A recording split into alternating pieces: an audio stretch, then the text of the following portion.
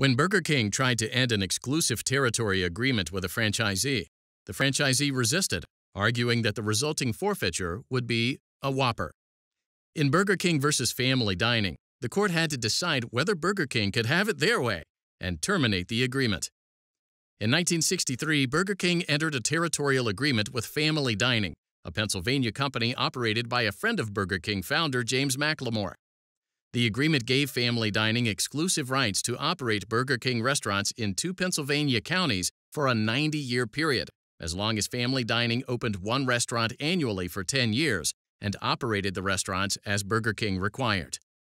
The agreement stipulated termination if there were ever fewer than the required number of restaurants in operation or under construction within the exclusive territory. Family Dining opened its first three restaurants in accordance with the agreement, then fell behind schedule.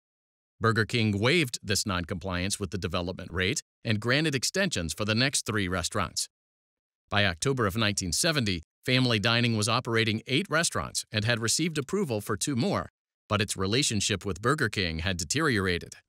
In April of 1972, Family Dining realized that the ninth restaurant was behind schedule and requested another extension.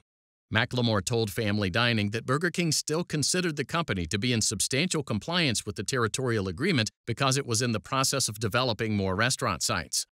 However, when the ninth restaurant still wasn't under active construction by May of 1973, Burger King sent Family Dining a letter indicating Family Dining's noncompliance with the agreement. By November of 1973, Burger King considered the agreement terminated. In May of 1975, Burger King sought a declaratory judgment in the Eastern District of Pennsylvania Federal Court that the territorial agreement was no longer in effect.